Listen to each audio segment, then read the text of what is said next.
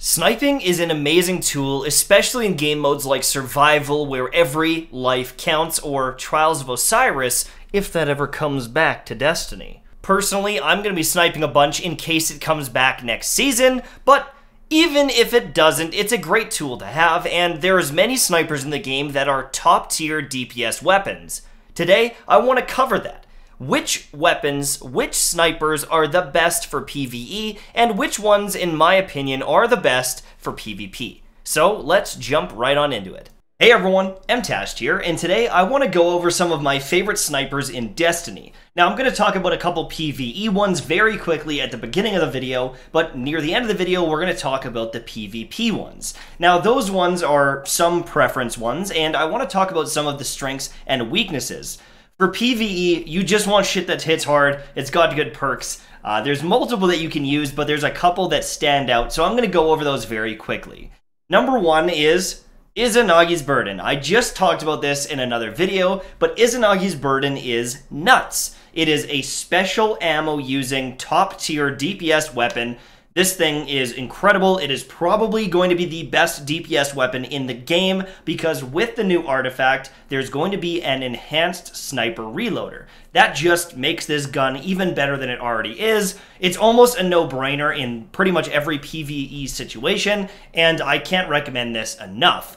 It's to the point at this point where uh, you you pretty much should or have to have this in your loadout to be optimal. It's that good.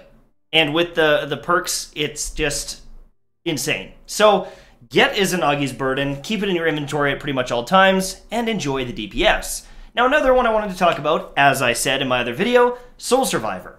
When you get the firing line triple tap combo as well as appended mag and the backup mag, you're able to fire round after round after round without needing to reload.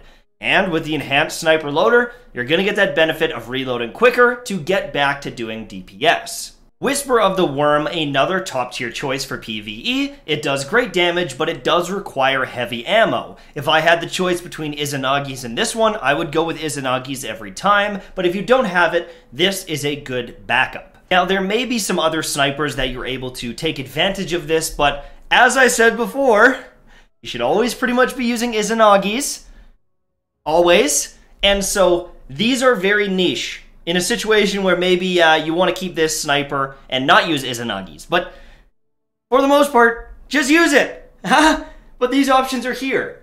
Now, I want to click on the Sole Survivor really quickly because this is going to be one of the first ones I talk about for PvP. Now, the Sole Survivor actually has a pretty good scope, and uh, if you get something like Snapshot Outlaw or Snapshot whatever, whatever, I don't care what it is, but with Snapshot, this becomes a very nice little gun. Handling on it isn't amazing, but the range is pretty solid, reload speed is very quick. This is a good base starter sniper. It's a 90 RPM, but I don't like this one as much as the next one. Now the Beloved, the reason I like this sniper better is the base stats overall are better in a lot of cases, especially because you can get random rolls. Now this thing has quick draw, snapshot, it's got some extra range here, some extra handling. There's multiple rolls you can get on this, but this is pretty damn easily accessible through the menagerie. If you have a gun that has the potential to be very good, as well as an easy way to farm it, this is an obvious choice if you're looking for a 90 RPM sniper. These are able to kill people uh, in their super in most cases with a headshot, and that's going to give this some definite brownie points over other options. But I'll talk about the sniper slang a little bit more later on.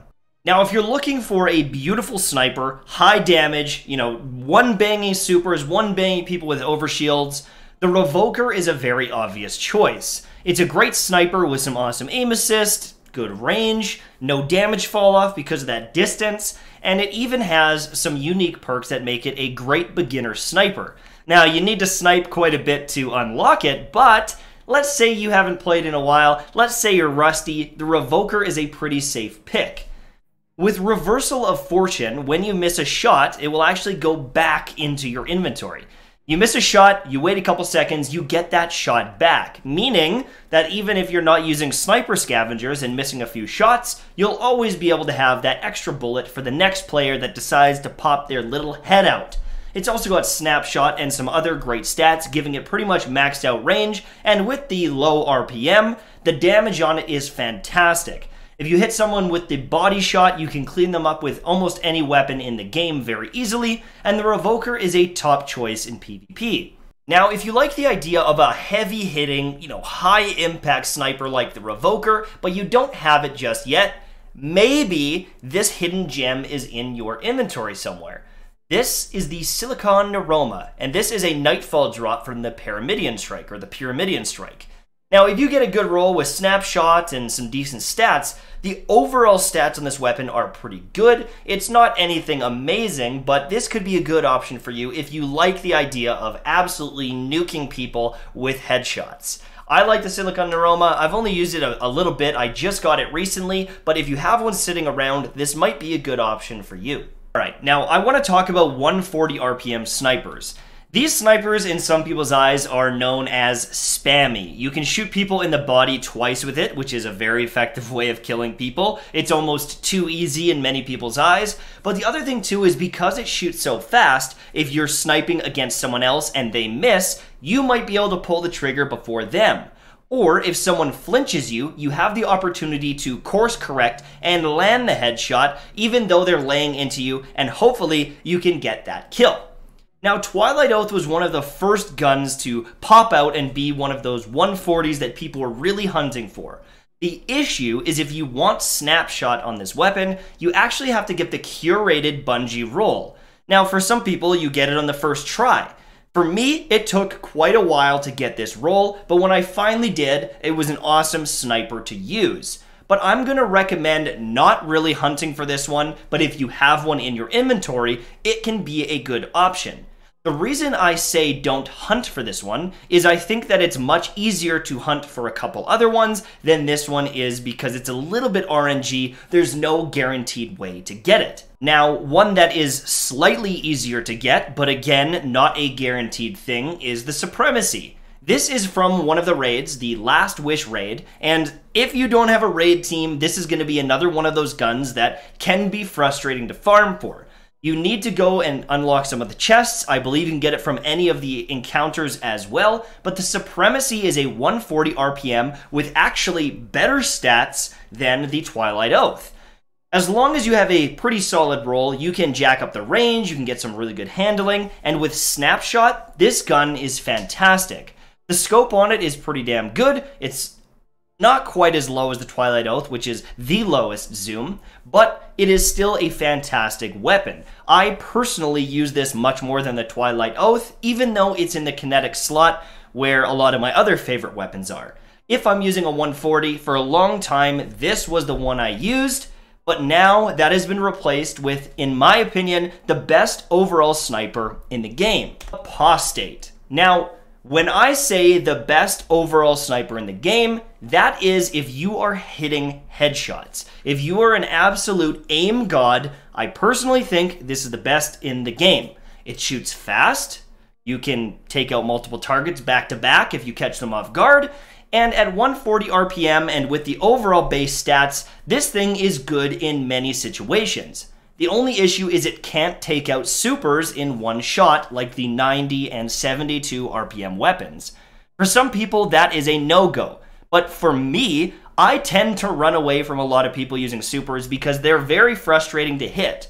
In Destiny 1, a lot of the supers were really easy to kill, they were really easy to take out, but I find in Destiny, they're very fast. Many of them have mobility uh, where they can spam shoulder charge or spinning attacks with the middle tree Sunbreaker. The Dawnblade was really fast, and landing that headshot was actually pretty risky because typically, if you miss, you die.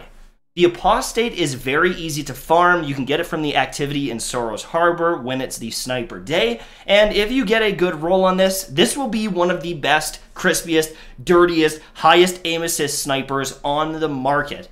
I'm in love with the Apostate. I think that this thing is amazing, and you should definitely hunt for one if you want to be sniping in PvP. Now, there's other snipers in the game. This Fate Cries Foul has pretty much the exact same role as my Apostate. You've even got a low zoom scope, but I find that there are some snipers with lower base stats or lower aim assist values or even just more zoom on their short to mid range scope options. These are the ones that I personally like to use, but maybe there's a hidden gem I didn't think about. If you guys have a top tier sniper that you'd like to recommend, leave it in the comments below. But that's pretty much it from me, guys. Thank you so much for watching. I hope you enjoyed, and I'll see you soon. Bye bye.